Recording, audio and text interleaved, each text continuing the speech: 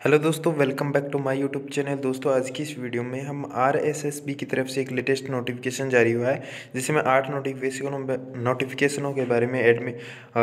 जारी किया गया जिसमें एडमिट कार्ड्स है जूनियर इंस्ट्रक्टर अलग अलग का है, जिसमें इलेक्ट्रिकल है मैकेनिकल्स है, और इसके साथ साथ में लाइब्रेरियन एग्ज़ाम गाइडलाइन है, और साथ में ही लैब असिस्टेंट के डॉक्यूमेंट वेरिफिकेशन के बारे में दिया गया है यहाँ पे। तो दोस्तों, यहाँ पे है डॉक्यूमेंट वेरिफिकेशन जो स्टूडेंट एबसेंट थे, जो अभ्यर्थी एबसेंट थे, उनके दोबारा से मौका दिया गया है तो यहाँ पे इतनी सी गाइडलाइन या और एडमिट कार्ड अपलोड किए गए तो इतनी सी अपडेट थी। दोस्तों, मिलते हैं नई अपडेट के साथ, नई न्यूज़ के साथ, तब तक जय हिंद, वंदे मातरम।